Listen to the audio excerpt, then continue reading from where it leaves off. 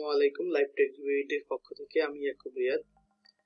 আজকে আমি আপনাদেরকে দেখাবো কীভাবে আপনার স্লো কম্পিউটারকে অনেক ফাস্ট করতে পারবেন। অনেক ফাস্ট বলতে হচ্ছে যে আপনি মোটামুটি ফাস্ট করতে পারবেন যেটার পারফরমেন্স আপনার আগের থেকে অনেক বেটার থাকবে।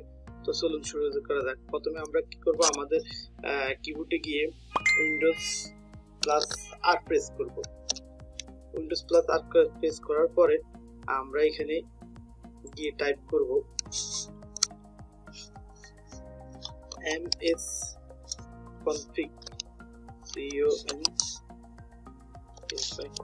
Config. Ms config click করে এন্টার দেব ms config ক্লিক করে এন্টার দিতে পারি বা ওকে প্রেস করব।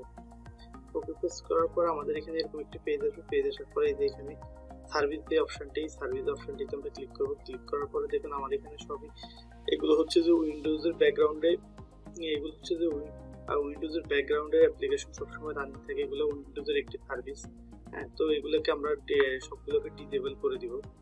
ডিজেবল করার জন্য এখানে ডিজেবল অল অলে ক্লিক করব। তারপর হচ্ছে যে আমরা অ্যাপ্লাই ক্লিক করব, তারপরে ওকে ক্লিক করব।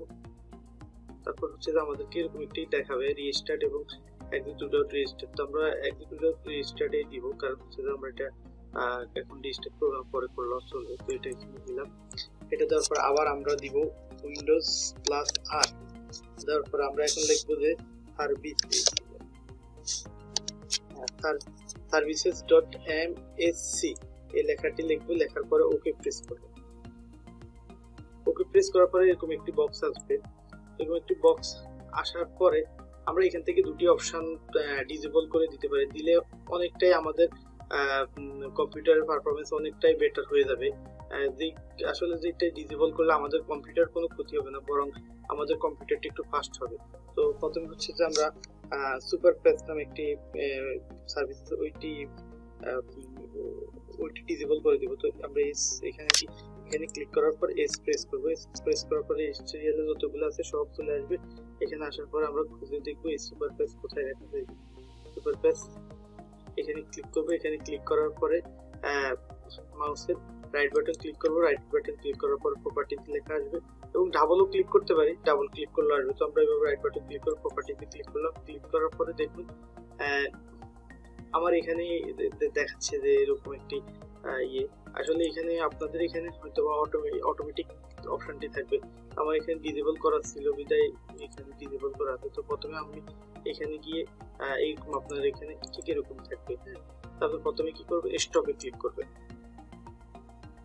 স্টপে ক্লিক করে দিয়ে তারপরে ক্লিক করবেন হচ্ছে যে ডিজেবল ডিজেবলে ক্লিক করে অ্যাপ্লাই তারপর হচ্ছে যে ওকে ওকে প্রেস করার পর দেন এটার কাজ শেষ। তারপর হচ্ছে যে আরেকটি হচ্ছে যে আমাদের উইন্ডোজ অটো আপডেট অপশনটি অবশ্য অনেকটাই অফ করে রাখেন।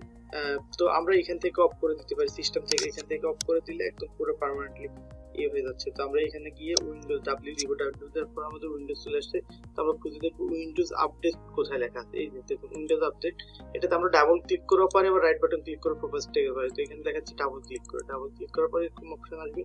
অপশন আসার পর আপনি এখানে ডিজেবল এখানে ম্যানুয়াল এই লেখাটি আসতে পারে। তো আমি কি করব? আমার এখানে ডিজেবল করা আছে, সেজন্য ডিজেবল অপশনটি ইয়ে আছে।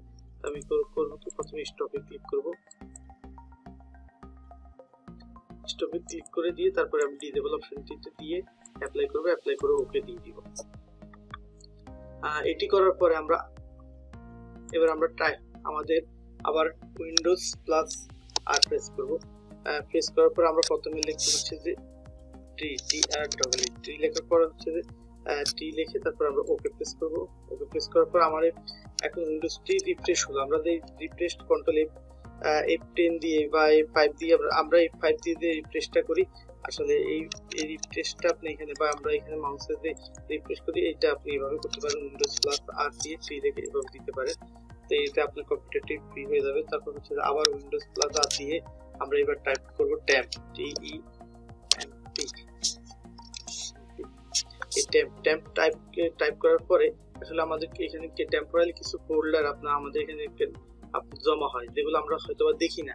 তো আমরা যখন এই কমান্ডটি এখানে দিয়ে ওকে করব টাইপ করে ওকে করব দেন আমরা দেখতে পাবো যে আমাদের হিডেন ফাইলগুলো যেগুলো আমাদের ফিজিক্যাস অনেক স্লো করে দেয়।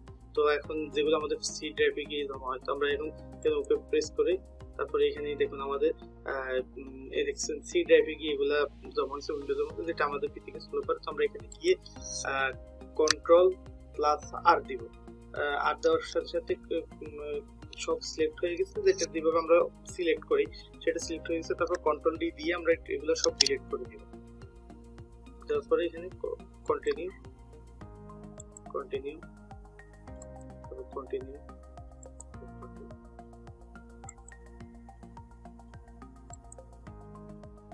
দুই একটা ফাইল ডিলিট না হতে পারে, কারণ এটার কারণ হচ্ছে যে হয়তো কোনো সার্ভিস আপনার এখানে রানিং আছে, সেই কারণে এটি ডিলিট হচ্ছে না, তো সেক্ষেত্রে আপনি ওটাকে ছেড়ে দেন, সমস্যা নেই, একটা দুটো ফাইল দিতে হবে। সমস্যা নেই, তো তারপর এটা আবার ক্লোজ করে দিবেন, তারপর আমরা আবার ওকে উইন্ডোজ কে কি প্লাস আর দিব, আর দেওয়ার পর আমরা এখানে টাইপ করব পার্সেন্ট এবার আগে টাইপ করছি টেম্প এখন হচ্ছে যে পার্সেন্ট দিব, তারপর হচ্ছে টেম্প লিখব, তারপর sorry percent percent temp percent temp percent এইভাবে লিখে তারপর আমরা আবার ওকে ক্লিক করব। দেখুন এখানে অনেকগুলো ফাইল আছে। তখন আমরা আবার কন্ট্রোল প্লাস এই ক্লিক করব। আর এই ক্লিক করার পর সব সিলেক্ট হয়ে যাবে। অল সিলেক্টের জন্য। তারপর হচ্ছে কন্ট্রোল ডি সব ডিলেক্টের জন্য আমরা কন্ট্রোল ডি প্রেস করলাম। তারপর ঠিক এরকম একটি ইয়ে আসবে। দেখুন এই যে আমি বললাম না আমাদের কিছু যে আমি এখন ক্যাপাসিটিয়া রেকর্ডিং ফাইলটি রান করছি সেজন্য এই ফাইলটি এখন ডিলিট হচ্ছে না। তো এটা এখন রানিং আছে সেজন্য তো আমরা এটাকে, আপনার এটা করার সময় কোনো ধরনের সব কিছু আপনার উইন্ডোজ ওপেন করে আপনি এগুলো সব ধরনের সার্ভিস অফ করে দিয়ে তারপরে এটা করবেন, তাহলে আপনার ভালোভাবে ক্লিন হবে। তো আমি এটা স্ক্রিপ্ট করে দিচ্ছি। এটা এগুলো ফাইলগুলো স্ক্রিপ্ট করে। দেন এবার আমরা টাইপ করব হচ্ছে যে হচ্ছে উইন্ডোজ প্লাস আর দিয়ে এবার আমরা টাইপ করব হচ্ছে যে পারপেজ পারপেজ পারপেজটা হচ্ছে এই যে পার পিইআর এপিটিসিএইচ পারপেজটি টাইপ করার পর আমরা তারপর ওকে ক্লিক করব। ওকে ক্লিক করার আমাদের এখানে এরকম একটা বক্স করব কন্টিনিউতে ক্লিক করব।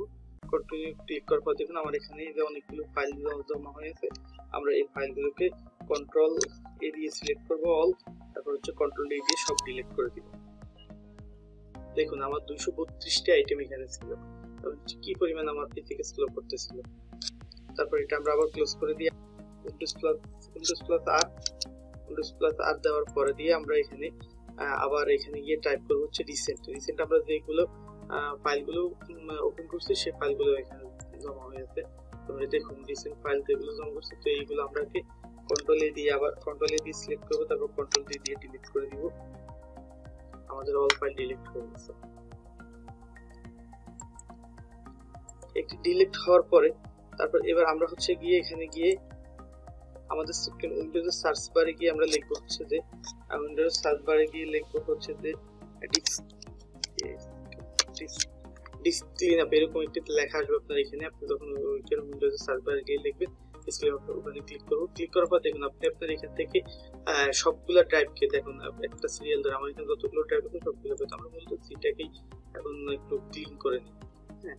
Select the drive you want to clean up যেমন হচ্ছে আপনি যে ড্রাইভটা সিলেক্ট করবেন এটা আসলে আপনার একটা কোনো ভয় পাওয়ার কিছু নেই। এখানে আপনার কোনো ইয়েতে এই আমি যেভাবে করছি সেভাবে করলে আপনার এগুলা ডিলেক্ট ওইখানে অন্য কিছু ডিলেক্ট হওয়ার কোনো সম্ভাবনা আপনি এখানে ওকে দিবেন। তারপর দেখুন আপনার ড্রাইভটি ক্লিন হচ্ছে।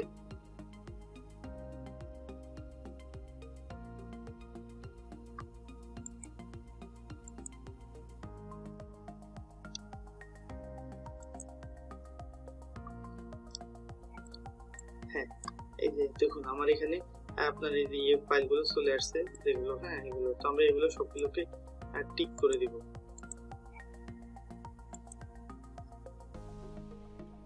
এখানে আমি আপনাকে রেসিকেলভিং ফাইলটি আচ্ছা সবই আমি ক্লিক করে দিচ্ছি। সব ক্লিক করে দেওয়ার পরে সব ক্লিক করে দিচ্ছি। ক্লিক করে দেওয়ার পরে এখানে ক্লিন আপ সিস্টেম ফাইল সব অল ক্লিন করে দিব।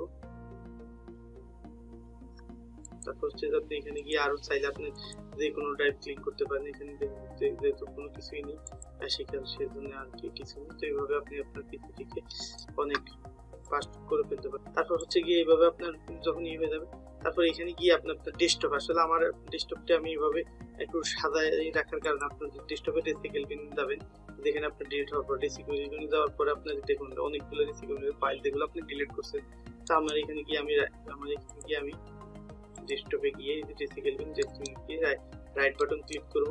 রাইট বাটন ক্লিক করে দিয়ে এমটি রিসাইকেল বিনে ক্লিক করব।